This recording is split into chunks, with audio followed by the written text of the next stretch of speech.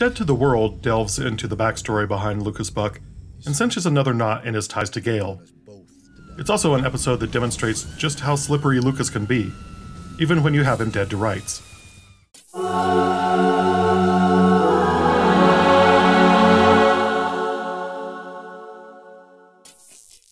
In a flashback, Lucas does the creepy flirty thing with Holly Gallagher, played by The Walking Dead's Melissa McBride.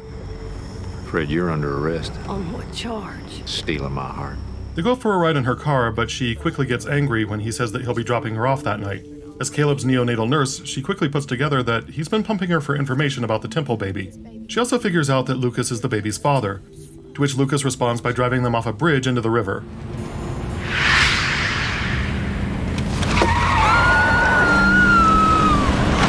Fast forward to present day Trinity, where Caleb and Boone are practicing for the local archery contest. Boone is better than Caleb, so Sheriff Buck intervenes to give Caleb some pointers. Well, he's the best.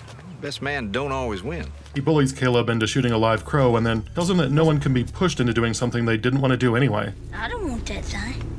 What do you mean? You kill it, you own it. You made me. Son, nobody makes anybody do anything they don't want to do in the first place. A frustrated Caleb runs off and says he doesn't want to hear from Buck ever again. Meanwhile, Gail finds Holly's mom in hopes of tracking down Holly for more information. Holly's mom tells her that Holly died. Mom's cryptic musing about Holly's potential creeps Gail out, though. Left alone in Holly's room, Gail's inner reporter comes out, and she goes through Holly's old love letters to find some written by Lucas Buck. Mrs. Gallagher says Holly wasn't seeing anyone serious when she died, but Gail can tell that she's hiding something. Merlyn pays Caleb another visit and warns Caleb to accept the part of him that will always be influenced by Lucas. Caleb admits that that's a part of himself that he's scared by, and Marley says she is too. We finally get expanded character development for Deputy Ben as he visits his ex wife Barbara Joy, who is busy repainting a racist lawn jockey. It ain't PC. She implies that she's just doing it because the PC police are bullying their son Benji at school. But hey, as I just learned from Lucas Buck, no one does anything they don't want to do, so she probably knew it was racist all along. Ben has come to warn her new husband Waylon to keep his hands to himself where Barbara Joy and Benji are concerned. Viewers from a rural background should be able to clock exactly what kind of abusive bully Waylon Flood is. The kind that excuses his abuse of women and children through patriarchal domain or biblical home correction, when all he really wants to do is beat women and children. Waylon has no respect for Ben, so he sucker kicks him in the testicles right in front of his son, tosses him out. Ben winds up looking rather pathetic in front of his ex wife and son. We also catch up with Deputy Floyd, whose role in the story is usually to reinforce the whole Mayberryness of it all. What is that eight letter word for snoop? Intruder? Has to end in a Y. Reach for the stars, Floyd. Gail wanders in to press Lucas about his relationship with Holly, but he downplays it and laments the fact that they could never find her body. You were seeing her when she died. Jealous? Deputy Ben comes in nursing his wounds, interrupting them. Floyd, I believe I found your magic word. What's that? Busybody. Lucas warns Ben to fix the situation because it reflects badly on Lucas. Not surprisingly, he shows very little sympathy for Ben. Can't we all just get along? The antebellum culture motif continues with my favorite bit player moment in the show. As Selena is teaching the class about nonviolence, she cites Gandhi, Martin Luther King Jr., and Civil War General Robert E. Lee. Rachel Seidman Lockamy, in her only appearance as Caleb's classmate Charlotte, does the skeptical look of a well read student who smells bullshit. Selena explains that Robert E. Lee only fought because he was pushed. Nobody makes anybody do anything they don't want to do in the first place. Selena keeps Boone after school, preventing him from going to practice with Caleb. Sheriff Buck shows up with a brand new aluminum bow to replace the simple one left to Caleb by his father. Elsewhere, Gail has commissioned a diving team to find Holly's car. And it turns out the car is only under about 15 feet of water, which means they must have not tried too hard to find it the first time. We get a nice callback as Barnaby Carpenter returns as TJ, the innocent kid who inherited the junkyard in the previous episode. When Gail opens the car door, there's no body, but an examination of the seat and the gas pedal shows that Holly wasn't driving. At practice, Coach Lucas tries to give Caleb that winner's edge, which is accurate to life for anyone who has ever been in competitive sports. But it's hard not to notice that he sounds like a paranoid sociopath. Picture Boone's face up there on that target. If he was really your friend, would he want to humiliate you in front of all those people tomorrow? He's your enemy, Caleb. Never forget that. On the street, in competition. A man confronts you, he's the enemy. An enemy deserves no mercy. What is the problem, Mr. Lawrence? Dr. Matt finds Deputy Ben and tells him that Barbara Joy came into the hospital with some bruises. Matt suggests that Ben talk to his son about how to treat women. Ben laments that Barbara Joy and Benji just don't have respect for him, but Matt tells him that this could be the chance to change that. The scene is clumsy and on the nose. They have to get Ben the information and motivation to get to the final scene, but having Dr. Matt go to him directly in violation of Barbara Joy's privacy rights seems simultaneously out of character and preachy. This is the same problem that plagued Damned If You Don't. The female character who is the actual victim of the violence recedes into the woodwork, and the story presents it as a transgression against the male character. The scene is saved, though, by the fantastic performances from Nick Searcy and Jake Weber. If nothing else, both actors fully understand their characters only five episodes into this show. Gail makes a nuisance of herself by telling Mrs. Gallagher what she found, but Mrs. Gallagher gets the convenient Deus Ex Machina phone call and tells Gail to leave. In a polite southern fashion, of course. Gail, ever the busybody, picks up the phone when the police calls back and finds out that it's a sanitarium. Deputy Ben shows up at Waylon's house and apologizes to Benji for allowing the abuse to go on so long. Waylon is about to clock him with a chair leg before he sees Lucas pull up in the distance. Waylon backs off, giving Deputy Ben the win, but Lucas pulls up again after he's gone, and Waylon is so freaked out that he stumbles right into the circular saw. from the crypt. Gail pops up at the sanitarium and finds Holly, and Holly won't shut up about Lucas Buck. He's Lucas, of course, shows up and explains that he kept Holly a secret out of respect for her mother, who sunk into denial at the thought of Holly never living up to her potential. Buck offers to show Gail what really happened that night, so he takes her on a ride out to the bridge, speeding with his eyes closed.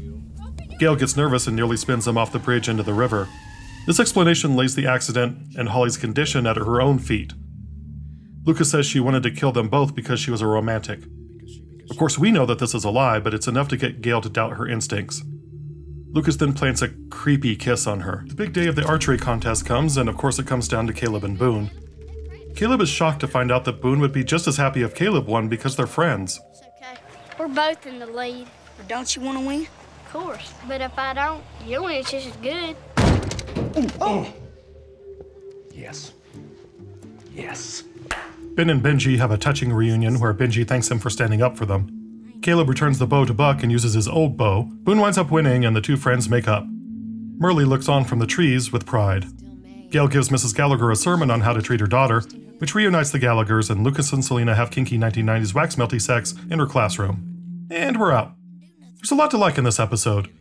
Caleb's struggle is internal, with the sheriff pulling him one way and his experiences with others pulling him the other. Even though Merle does briefly reappear to grimace and cross her arms, it doesn't come across as Buck versus Merlyn the same way that other episodes do.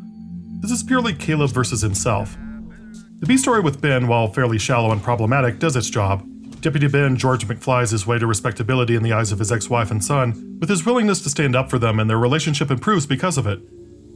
Of course, Waylon's real source of fear isn't Ben, but Sheriff Buck, which he openly tells Ben at one point. You tell Sheriff Buck I appreciate the warning, and I won't ever lay a hand on Barbara Joy again.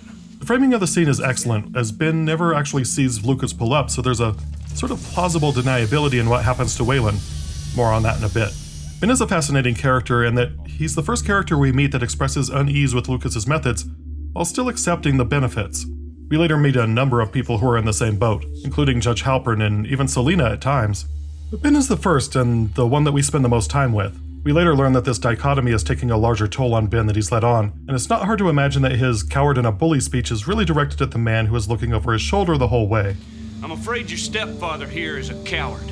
He thinks that the way to control people is by bullying them.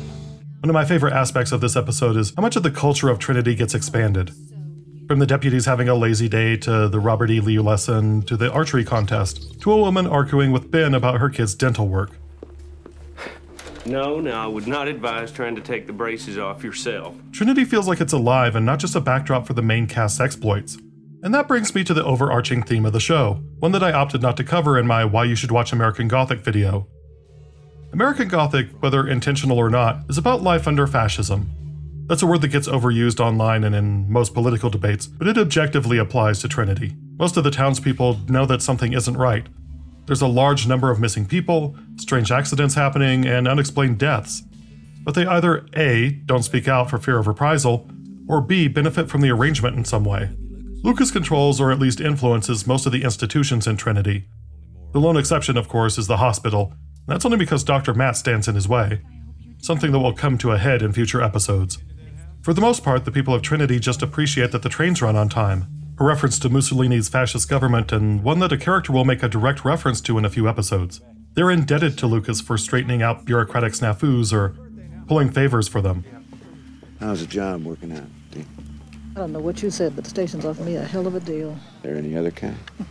So they don't question the missing people, the strange accidents, or the unexplained deaths. Helped out a lot of folks in this town. This is represented in Holly Gallagher's mother Janice, who would rather hide her daughter away in a sanitarium and pretend she died rather than acknowledge an unfair, random, and imperfect world in which bad things happen to good people.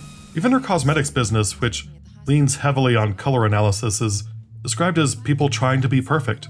I've covered this in my Dallas analysis, but in a good show, one off or bit characters will interact in the main narrative, either contrasting or reinforcing the main thesis of the episode. Janice Gallagher's willingness to shove her own daughter under the rug perfectly demonstrates the collective will of Trinity to avoid talking about problems in their town. This lack of introspection allows Lucas to run roughshod over individuals. The interesting thing about this is that this is also the deal that the audience makes with the character of Lucas. Gary Cole is incredibly charming in the role, and as we've seen in the past two episodes, his powers are often directed at people who, quote unquote, deserve it an implied child molester and a wife beater. It's easy for the audience to root for Lucas in these episodes because we hate the actions of the characters he's pitted against.